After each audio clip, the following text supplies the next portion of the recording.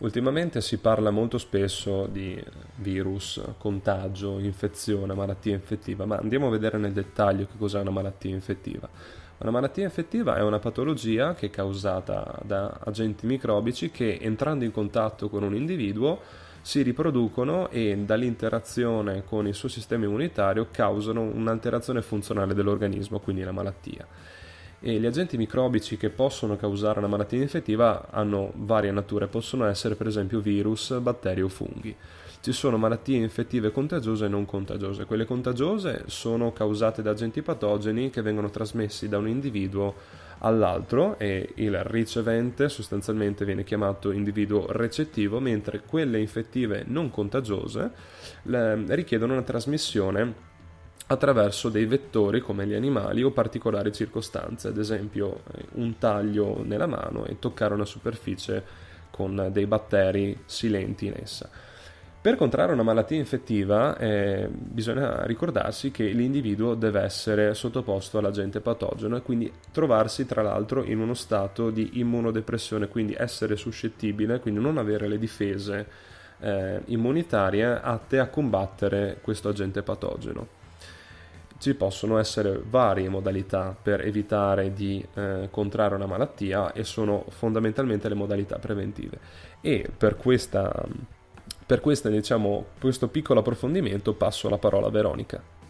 Secondo l'Istituto Superiore di Sanità, la prevenzione è un insieme di attività volte a promuovere e conservare lo stato di salute ed evitare l'insorgenza di malattie. Ci sono tre tipi di prevenzione, la prevenzione primaria, secondaria e terziaria. La prevenzione primaria ha il compito di mantenere le condizioni di benessere ed evitare la comparsa delle malattie. Alcuni esempi possono essere la vaccinazione, la corretta igiene, eh, la correzione di abitudini scorrette come per esempio quella del fumo e la correzione di situazioni che possono portare alla malattia come per esempio l'obesità, che portano quindi a una predisposizione. La prevenzione secondaria invece eh, è una, um, uno step successivo rispetto alla prevenzione primaria, rappresenta praticamente l'attività su soggetti che sono già malati, che però eh, sono in uno stadio iniziale della malattia. Serve quindi per prevenirne le, le conseguenze quanto possibile. Un esempio è quello dello screening. Infine la prevenzione terziaria fa riferimento a quelle azioni eh, che vengono svolte quando già ci sono gli esiti importanti della malattia, che devono quindi essere contenuti eh, nella maniera più efficace possibile.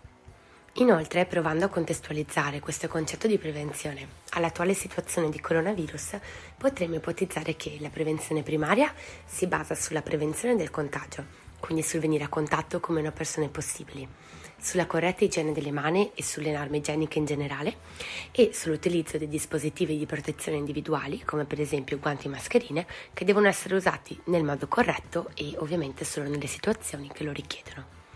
La prevenzione secondaria si può, mh, mm, si può andare a concretizzare con l'esecuzione del tampone, ovviamente anche questo solo se, se necessario, se su ordine medico, e infine la prevenzione ter- terziaria sul trattamento della sintomatologia sviluppata. Grazie Veronica per questa spiegazione esaustiva.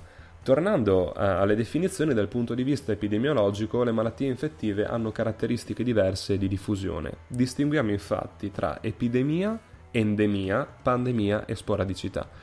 Parliamo di epidemia quando un soggetto ammalato contagia più di una persona e il numero dei casi di malattia aumenta rapidamente e in breve tempo. L'infezione si diffonde in un eh, territorio circoscritto, in un arco temporale predeterminato, però il numero di casi aumenta in maniera elevata al di là delle previsioni fatte precedentemente.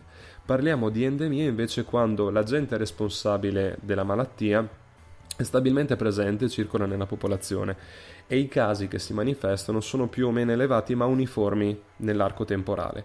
Parliamo di pandemia invece quando un'epidemia tende a diffondersi ovunque, quindi parte da uno stato, si diffonde al continente e successivamente può diffondersi all'intero, eh, all'intero mondo, all'intero pianeta.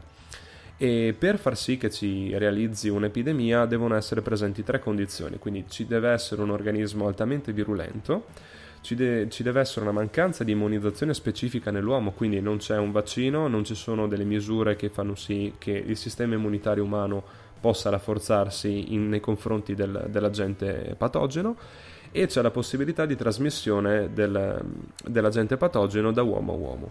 Parliamo di sporadicità invece in relazione al caso sporadico che si manifesta in una popolazione in cui una certa malattia non è stabilmente presente. È importante sottolineare però che la, eh, lo spostamento, la diffusione meglio delle malattie è anche incentivato dai maggiori spostamenti, dai viaggi, insomma dalla globalizzazione che attualmente determina maggiormente le interazioni tra individui provenienti da diverse parti del mondo. Passando a un punto di vista storico, facciamo una piccola panoramica di quelle che sono state eh, le pandemie influenzali del XX secolo, quelle più famose, quelle che sono state insomma più impattanti dal punto di vista clinico.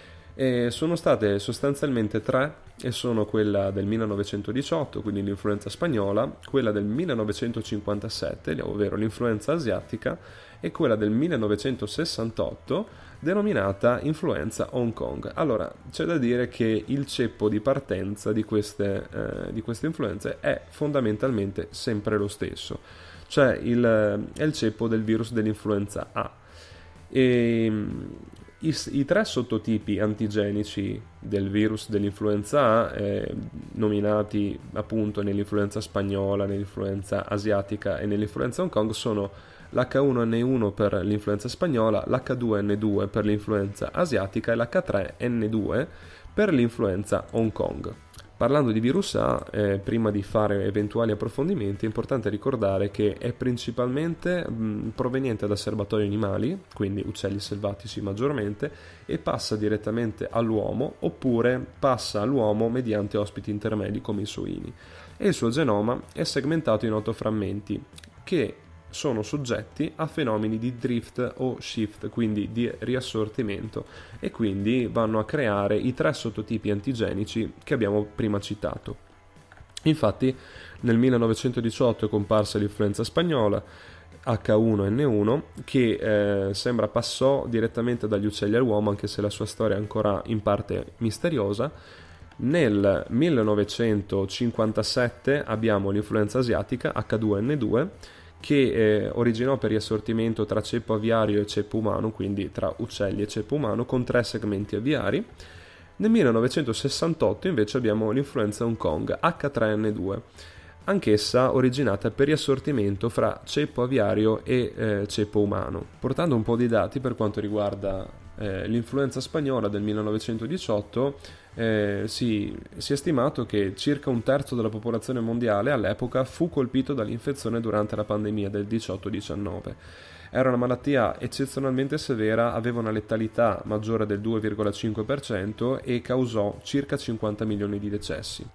A distanza invece dell'influenza spagnola, e nel 1957, dopo anni in cui il virus dell'influenza aveva ripreso il suo percorso abituale, nel 1957 comparve l'influenza asiatica e nonostante non esistesse una sorveglianza epidemiologica di laboratorio come quelle odierne, il virus fu studiato nei laboratori di Melbourne, Londra e Washington dopo riconoscimento che un'importante epidemia era in corso.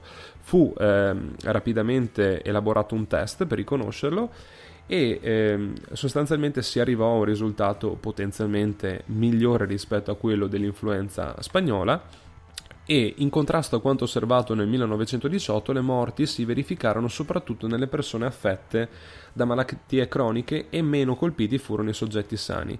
Infatti all'epoca si sapeva che nell'influenza le infezioni batteriche polmonari secondarie o concomitanti erano frequenti e ad esse erano dovuti molti casi fatali. A volte però la sovrapposizione batterica non poteva essere dimostrata, quindi si parlava di polmonite abatterica, ma con l'asiatica del 57 appunto fu molto diffuso ed evidente il fenomeno di polmoniti primariamente virali.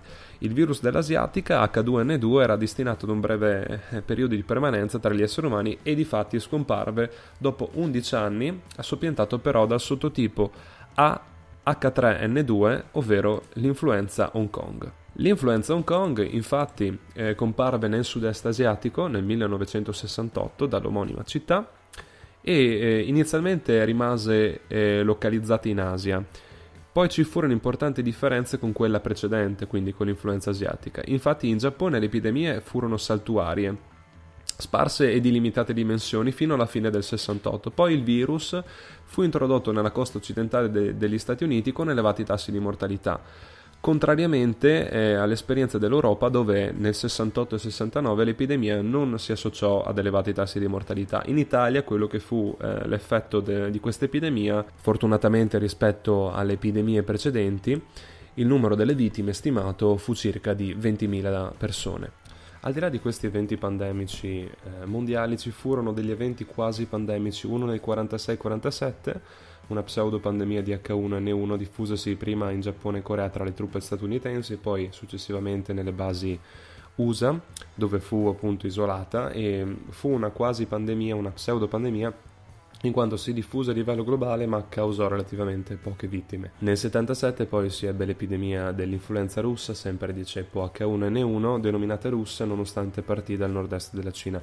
Colpì principalmente e quasi unicamente i giovani con meno di 25 anni con manifestazioni cliniche lievi, anche tipicamente influenzali, quindi non fu un'epidemia eh, potenzialmente letale e la caratterizzazione antigenica e molecolare ha dimostrato che questo virus era molto simile a quelli circolanti negli anni 50, quindi era un'evoluzione o addirittura uno strascico dei virus precedentemente noti che non avevano ancora eh, colpito queste determinate aree oppure queste determinate fasce di popolazione. Queste sono state dunque le pandemie, quasi pandemie, che maggiormente hanno colpito nel corso della storia l'intero pianeta e passando invece al XXI secolo, quindi quello in cui ci troviamo noi attualmente, più che di pandemie si va a parlare di epidemie perché con l'evoluzione della medicina degli screening epidemiologici, nonché delle tecniche per arginare la diffusione delle malattie infettive, nel XXI secolo si parla appunto di epidemie, in quanto le malattie infettive maggiormente sono state eh,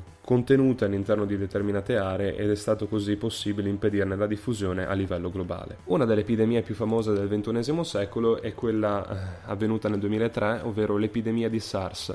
La causa della SARS è un virus appartenente alla famiglia dei coronavirus, detto SARS-CoV a questa stessa famiglia, come ben sappiamo e come ultimamente ci viene spesso ricordato, appartengono anche i virus dei raffreddori che molto bene eh, noi conosciamo.